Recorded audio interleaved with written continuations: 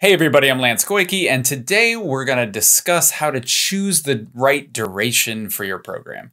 Um, specifically, I want to talk about one specific duration today, and that is an eight week program. Why would I write an eight week program, and why would I not write an eight week program?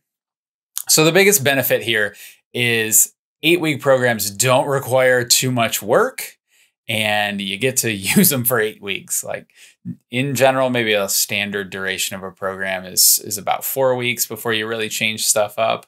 Um, eight weeks lets you, you know, stick with that thing, take that little bit of work that you have put in, and and really, you know, bleed as much out of it as you possibly can. Um, it's not just a sheer laziness thing, though. It's also good because it gives you eight weeks to get better at something.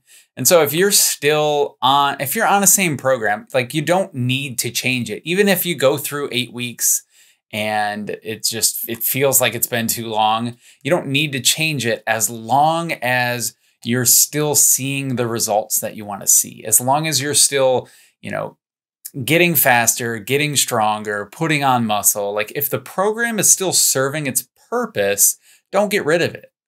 Um, and that's that's where the the eight week programs really shine, and and specifically the people who are going to be able to bleed the most out. I keep saying bleed, but I think squeeze is the term. Squeeze the most out of this program are beginners.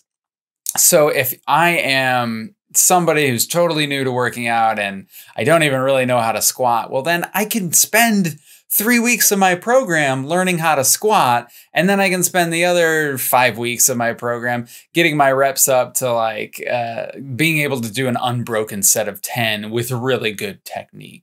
A lot of times you get a beginner who's never really squatted and it takes them, you know, you know one one week you can usually get it but if they walk in the next time in the next week they they probably can't just reproduce it on their own. And so you need to kind of reinforce that pattern. And there's two weeks there.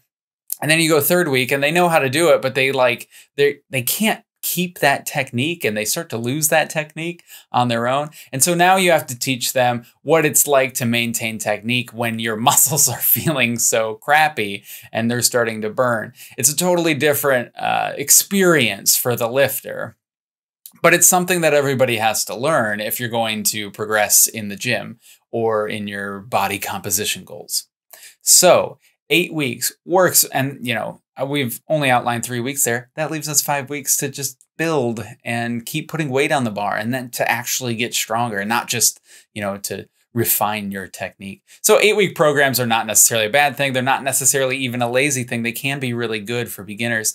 They're probably not good for you if you're a pretty advanced trainee. Like if you've trained for three years without missing a day, like, yeah, you're, you're probably not going to be able to bleed out, squeeze out eight weeks of the same program. You're going to have to, you know, you can keep the same structure maybe, but you're going to have to kind of uh, change the primary exercises, change those uh, those multi joint big bang for your buck exercises that you kind of base your workout day around.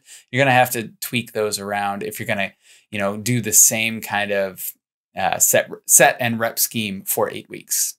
So there you have it. Uh, if you're writing a program, you might want to choose eight weeks, especially if you're a beginner, but probably not if you are an advanced trainee.